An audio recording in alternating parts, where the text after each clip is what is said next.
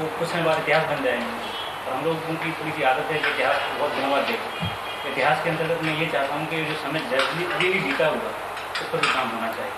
और इस संदर्भ में मैंने कोशिश की है कि मेरे क्षेत्र की जितनी पत्रकारिता से संबंधित समस्याएँ हैं, या जो संभावनाएँ हैं, उन सबको मैं बाहर ला सकूँ तो इससे मालूम चल सके कि लोकतंत्र के विकास में पत्रकारिता ने कितना एक तो क्या आपके क्या रुझान आपने अब तक उसमें डिस्कवर किए कि जो ट्रेंड्स क्या है आज की जनरेशन में मोटे मोटे ट्रेंड्स क्या है?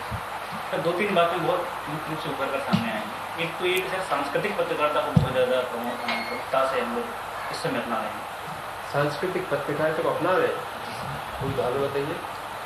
जैसे सर मैं अपने मैंने जो शोध किया है उसमें देखा कि हम लोगों ने हमारे यहाँ के जो विशेष रूप से पत्र निकलते जैसे न भारत छोटे स्तर निकलते न प्रभात निकलता इन्होंने ग्रामीण मेलों को और वहाँ पर जो सांस्कृतिक रूप से जो गतिविधियाँ होती हैं चाहे वो बहुत छोटे छोटे स्तर पर होती हैं उन सबको कहीं कहीं कवरेज दी है जैसे बर्डर का मेला है हमारे उस मेले को आप हिंदी पत्रकारिता की बात कर रहे हैं तो आप तमाम बड़े अखबारों की बात कर रहे हैं। नहीं पूरी बड़े अखबार आते हैं। आप रिसर्च में सैंपल जो पिकअप करते हैं उसको रिप्रेजेंटेटिव होना चाहिए।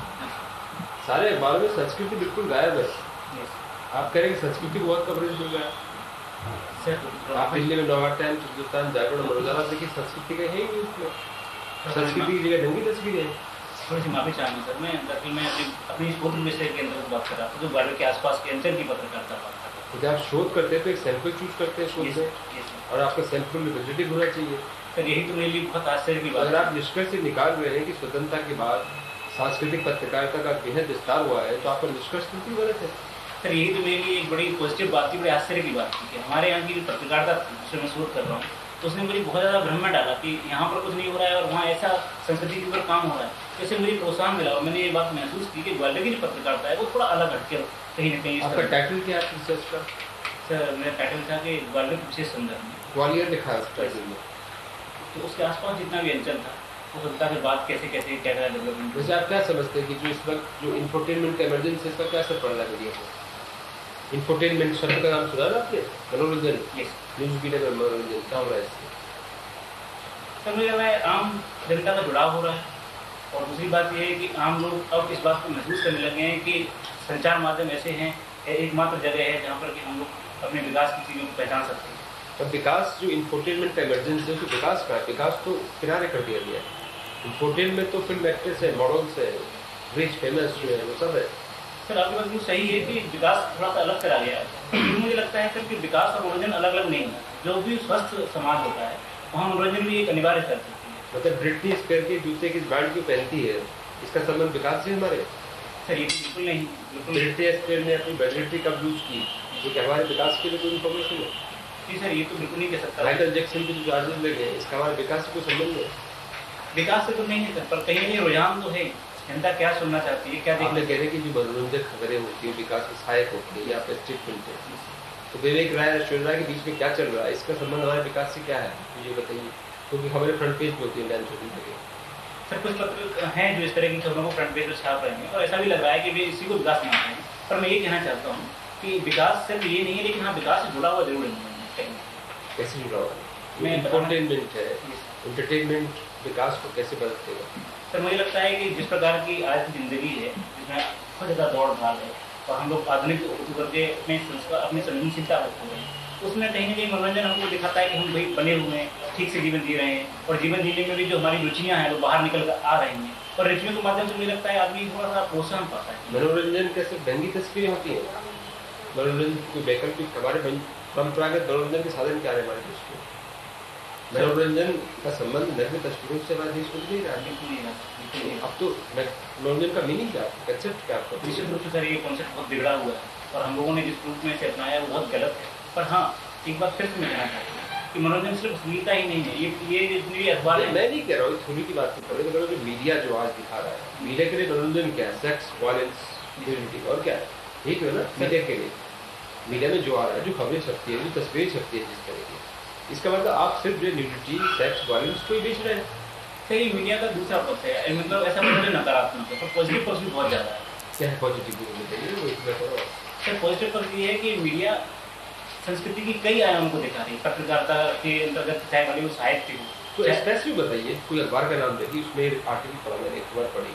सर ऐसे बहुत सारे अखबार हैं बताइए। राष्ट्रीय सहारा की भी बात करूँ। राष्ट्रीय सहारा में जो एक साप्ताहिक अखबार है वो पूरा एक उसका आठ दस पेज का पेज आता ही संस्कृति मूर्तिकला चित्रकला साहित्य सब बहुत आता है। चाहे वो कोई भी पत्रिका है वो इसको सर डिनाई नहीं कर सकती। क्योंकि संस्कृति के अगर पक्ष को लेके नहीं चलेंगे तो मुझे लगता है वो पूरी तरह से फैल नहीं पाएँगे। तो संस्कृति होती तो ज़रूर है। हमारे ग्वालियर के कई पत्रों में इस तरह की। राष्ट्रीय सहारा के अलावा कोई न्यूज़पेपर जिसमें कल्चर और इसकी बात हो?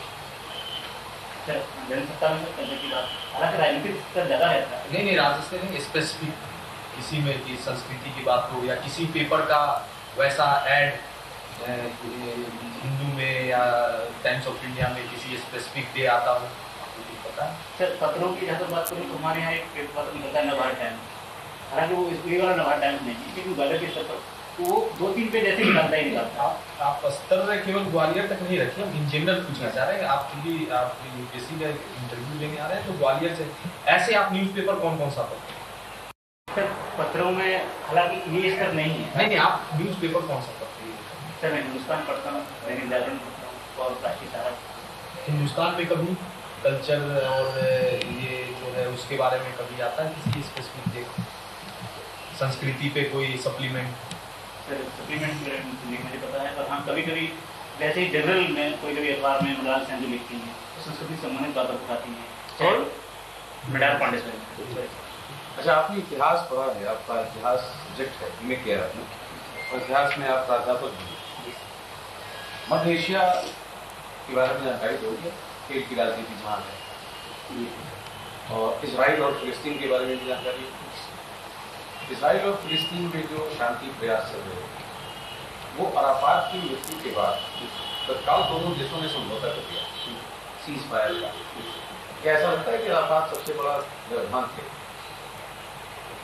सर, दरअसल ये समस्या इतनी उलझी हुई थी कि इसमें अमेरिका और इसराइल दोनों ये मान के चल रहे थे कि अराफात कहीं कहीं जिद कर या वो ये मान के चल रहे थे कि अराफात जब तक रहेंगे तब तक शांति प्रक्रिया आगे नहीं बढ़ सकती। और अराफात को कहे उन्होंने क्या किया कि कट्टरपंथियों से जोड़ दिया लोगों के हमास वगैरह जो संगठन थे। तो ऐसे में ऐसा लग रहा था कि अगर उन्होंने ये मांग रखी थी कि आप अपना नेतृत्व समाप्त कीजिए दूसरा नेतृत्व लाइए तो हम बात करेंगे।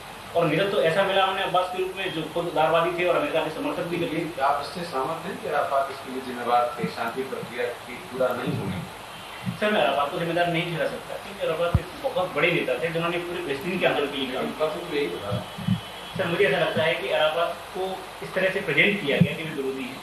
वो विरोधी नहीं थे वो चाहते थे कि शांति है पर हाँ उनकी मृत्यु ने एक अवसर ज़रूर दे दिया। दोनों समुदायों को इसराइल हो फिलिस्तीन हो चाहे चाहे अमेरिका का उधर हो। क्योंकि महमूद अब्बास एक उदारवादी इंसान उन्हें शायद बना चुके थे। और लगने लगा था कि इनसे साथ बैठ करके मौका हम लोग ले सकते कहीं कहाँ हुआ ये समझौता? किस जगह?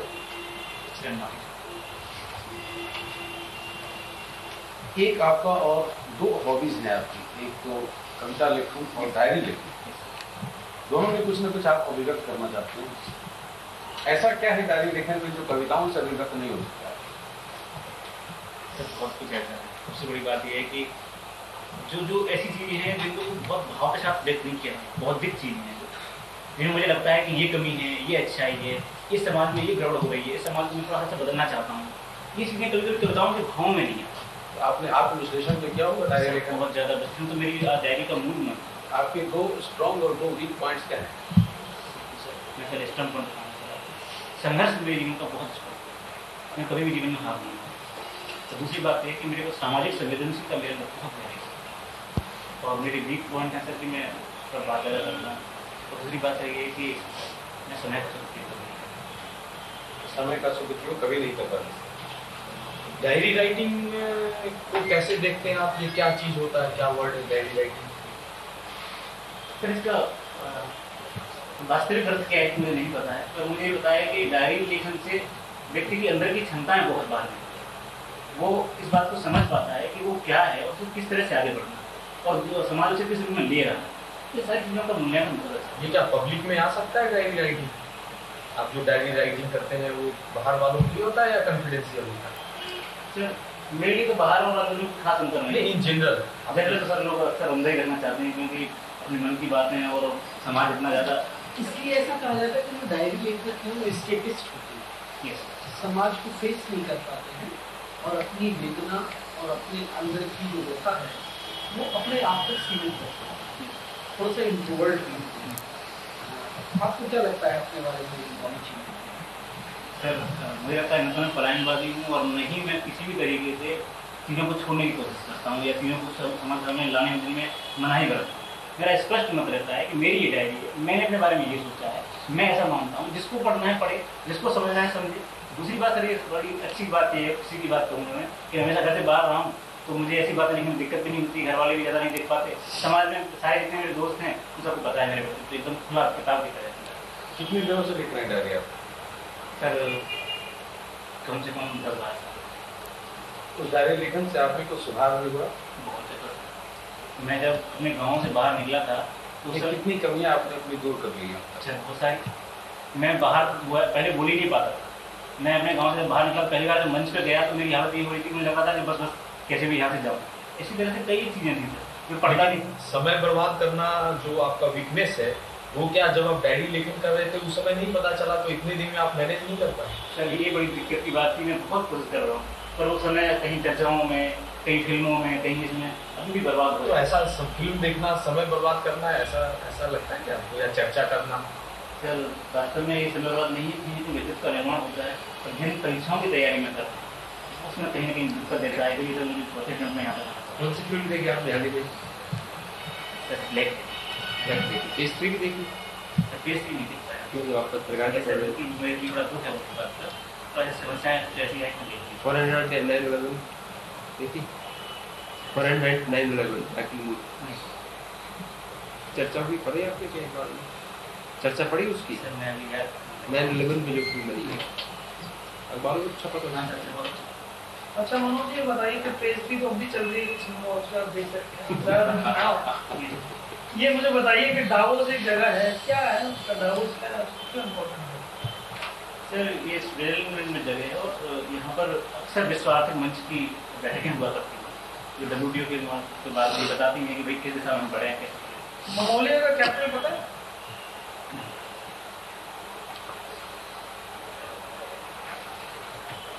अच्छा ये बताइए यूएस सेक्रेटरी ऑफ़ डिफेंस कौन है? भी पढ़ते हैं। तो पढ़ता तो हूँ पर इसमें याद ही नहीं आ रहा है। तो अमेरिका के सारे लोगों को मैंने याद किया था। मुझे लगा था पूछा जाएगा। आप लगता है बड़े चिल में रहा हूँ सर ये सेक्रेटरी चेंज हुए क्या? सेकंड बुश एडमिनिस्ट्रेशन में की नहीं हुई चेंज दरअसल मुझे कोरोना वायरस के बारे में ये नहीं पता है कौन सी मंत्री है। और मुझे लग रहा है कि शायद आप तो इंडिया की आई थी कोई इंडिया में सर आई आपको तब भी नहीं पता कि क्या किस चीज़ की थी तो मैं ध्यान नहीं देता। उन्होंने पावर क्या दिया सर विदेश में वो की जगह आई हाँ मुझे पता है और आज न्यूज़पेपर पढ़ते हैं? हेड न्यूज़ हेडलाइंस किसी न्यूज़ का दो तीन। एक दो ही न्यूज़ बता दीजिए सर एक न्यूज़ तो ये थी कि पेटेंट बिल को पास कर दिया गया है और उस पर संपादकीय बातें भी थी। काफ़ी आज कल बात आज की बात सर मेरी रुचि की न्यूज़ तो ये थी कि पाकिस्तान लड़ गया अपनी तरीके से क्रिकेट में भारत को हराने के लिए और तीन सौ सोलह रन का स्कोर बना लिया ये तो स्पोर्ट्स पेज पे होगा। फ्रंट पेज पे कोई न्यूज़ सर फ्रंट पेज देख नहीं पाया। मध्य प्रदेश की मध्य प्रदेश की मुख्य समस्या क्या? है। है पर्टिकुलर पार्टी की सरकार काफ़ी समय से है कई बार है। उसके बाद भी मध्य प्रदेश बीमारू स्टेट्स में बिल्कुल सही कह रहे हैं, सारी स्थितियाँ सर बिल्कुल अच्छी हैं, सामूहिक की हो चाहे कोई भी उसके बावजूद मुझे ऐसा लगता है सर कि हम अपने संसाधनों का ज़्यादा दोहन नहीं कर पाते। मेरे रूप से जो भी संसाधन हमें उपलब्ध है, उन पर हम बहुत ज़्यादा तकनीकी दस्ता हासिल नहीं करते। दूसरी बात सर मुझे ऐसा लगता है कि मध्य प्रदेश के पास जो बिजली की समस्या है, वो से बहुत पीछे है। अभी तक तो छत्तीसगढ़ के से हम लोग अपना काम चला रहे हैं, लेकिन जब से छत्तीसगढ़ अलग हुआ है, तब से बिजली के लिए बहुत बुरी स्थिति हुई है। पूरे विश्व तीसरी बात मुझे ऐसा लगता है कि मध्य प्रदेश को जिस प्रकार से शिक्षा के क्षेत्र में विकास करना चाहिए वो पूरा नहीं कर पाया। हम लोग एक भी ऐसा बड़े स्तर का विश्वविद्यालय बड़े स्तर का शिक्षा संस्थान अभी तक नहीं दे पाए। तो इन सारी कमियों ने कहीं ना कहीं मध्य प्रदेश को पीछे तो ले जाएगी या बीमार राज्य के रूप में, चाहे वो ग्रामीण स्तर पर सहकारिता का विकास नहीं हो पाना हो, चाहे स्वास्थ्य की बात हो, चाहे शिक्षा की बात हो, हम लोग पीछे रहे आपने जो एक्सप्रेशन यूज़ किया, मध्य प्रदेश के लिए हम हम करके, क्या मध्य प्रदेश के रिप्रेजेंटेटिव नहीं हमने ये नहीं किया छत्तीसगढ़ ले गया बिजली छत्तीसगढ़। बिल्कुल मैं मध्य प्रदेश का नहीं है पूरे देश का आपने कहा हम हम ये नहीं कर पाए हम वो नहीं कर पाए हम वो नहीं कर पाए। सर मैं मुझे लगता है स्थानीय मुझे लगता है कि प्रदेश का निवासी होने के नाते तो प्रदेश से भी मेरा जुड़ाव है। मुझे लगता है कि मध्य प्रदेश भी मेरा ही है क्योंकि मैं वहाँ रह रहा हूँ तो मुझे लगता है स्वाभाविक तरीके से मुझे लगता है कि हम भी करना है आप तो भारतवर्ष में रह रहे हैं तो भारत प्रदेश भारतवर्ष आपको अपना नहीं लगता है प्रदेश में सर मुझे लगता है कि मानवीय स्वभाव है। अगर हम गाँव की बात करते हैं तो हम गाँव में रहते तो वो हमारा है। हम शहर में रहते तो वो हमारा है। दिल्ली में रहते तो वो हमारा आता है। उसे वो जनता के इस वर्ग को जो बिल्कुल कुछ नहीं जानता अशिक्षित है उसे भी इतनी बेहतरीन तरीके से समझा पाते हैं तो मैं उन्हें बहुत बड़ा टीचर मानता हूँ। मुझे लगता है कि अगर उस क्षेत्र को जादूगर के क्षेत्र को उनको क्लास में समझाना होगा तभी वो बहुत अच्छा समझा सकते निजीकरण के बारे में आपकी क्या है? तो निजीकरण मुझे लगता है कि आज की मांग आवश्यकता है। और ये संभव नहीं हो पा रहा है कि सार्वजनिक क्षेत्र अपने सारे दायित्वों का निर्वहन करते हुए राष्ट्र के विकास को आगे लेगा तो निजी क्षेत्र को सहयोग ले रहा है इस तरह से मुझे लगता है संभावना बढ़ रही है। निजी क्षेत्र में निजीकरण प्राइवेटाइजेशन तो भारत जैसे देश में जहाँ पर असमानताएँ और विषमताएँ इतनी ज़्यादा है वहाँ पे मूलभूत सुविधाओं का निजीकरण किया जाना कहाँ तक? पानी सड़क सर पानी बिजली और सड़क जैसे पर सर उस पर अथॉरिटी तो अगर सरकार की है गवर्नमेंट की है। अब जैसे मैं दिल्ली का ही उदाहरण दूँ, दिल्ली में बिजली पर हमारे जो कर है, उसमें नीचे के जो वर्ग है, उसके लिए बिल्कुल छूट दी हुई है। ऐसी छूटें हमें हर क्षेत्र में दे सकते हैं। क्योंकि सरकार को पता निर्धारण करना है कि काम कहाँ करेगी तो इसका मतलब कि सरकार इनफिशियंट है, इसीलिए वो हर चीज़ को इम्प्लीमेंट नहीं कर पा रही है तो वो निजीकरण कर दे रही है। तो सरकार को भी निजीकरण कर देना चाहिए। सर, ये मान लीजिए कि यदि कोई ऑर्गेनाइजेशन है जैसे बिजली का प्रॉब्लम आप बोल रहे हैं तो दिल्ली बिजली बोर्ड उसको नहीं कर पाया तो उन्होंने निजीकरण को दे दिया। तो इसका मतलब जो दिल्ली दिल्ली सरकार थी वो अपना काम ठीक नहीं कर पाई। तो बिजली को क्यों दोष दिया जाए? सरकार को ही निजीकरण कर दिया जाए। इसके बारे में आप हैं? सर मैं ये कहना चाहता हूँ कि सरकार के दायित्व बहुत बढ़ रहे हैं। उन दायित्वों के निर्वहन में उसके पास इतना समय नहीं हो पा रहा है। इतनी वो ऊर्जा। से दायित्व बढ़- जैसे जैसे सर सर तो ये बढ़ रही है कि अब जो जो बीस, पिछले बीस, पच्चीस सालों में जिस प्रकार से लोगों के अंदर जागरूकता आई है, उससे लोगों की आकांक्षाएँ बढ़ गई सरकार और सरकार उसने जिस प्रकार से मीडिया ने उनकी आकांक्षाओं को बढ़ा दिया है तो अब लोग चाहते हैं सरकार हमारा ये काम भी करे स्वास्थ्य क्षेत्र में भी आगे बढ़ाए गाँव के विकास में भी तकनीकी आधार दे आधारभूत संरचना का। सरकार का काम ही है। यदि आप देखें तो सरकार का काम ही है ये सब करना।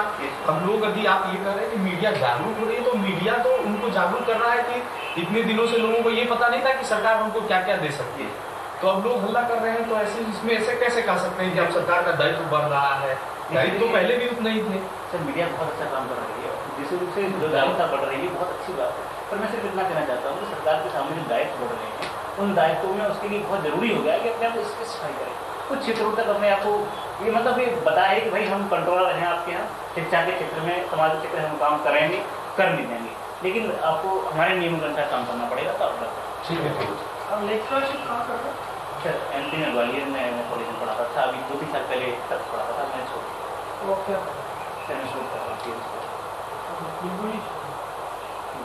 ठीक है ठीक है थैंक यू